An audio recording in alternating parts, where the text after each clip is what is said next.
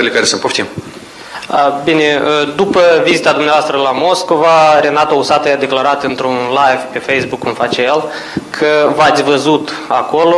Aș vrea să întreb ce anume ați discutat.